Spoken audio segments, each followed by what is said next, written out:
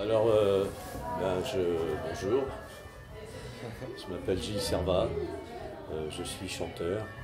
Je suis très inspiré par la Bretagne, par, euh, les pays celtiques et par, euh, par l'humanité que je trouve ici. Quand j'ai commencé à chanter dans les années 70, euh, bon, j'ai commencé à chanter à Groix, etc. Bon, je savais qu'il y avait des gens qui parlaient breton. hein. Et puis je me souviens, je suis allé faire un spectacle pour la première fois, c'était du côté de, de- dans le centre Bretagne, je ne me rappelle plus exactement. Il y avait les Sœurs Guadex, je chantais en première partie d'un Fesnos.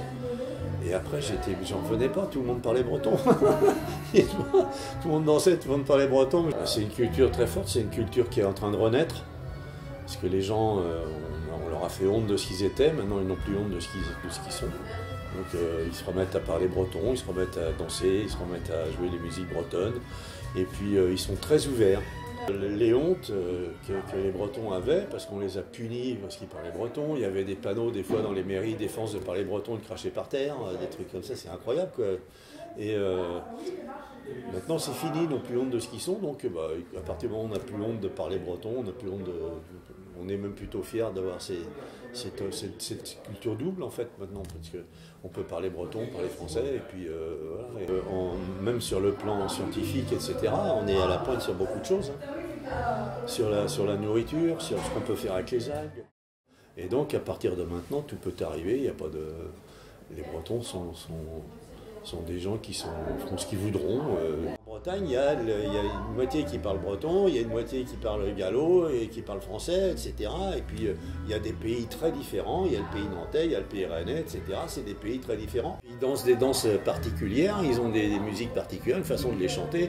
Euh, après, euh, c'est pareil, toutes les danses bretonnes, bah, maintenant quand on va au Festos, on danse plein de danses.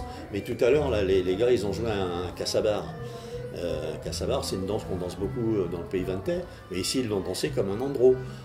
Le cassabar et l'andro, c'est pratiquement la même chose, il en a un qui est un tout petit peu plus lent que l'autre, mais ici ils ont dansé en andro, parce qu'ils bah, dansent pas le cassabar. Ici c'est tout, et puis.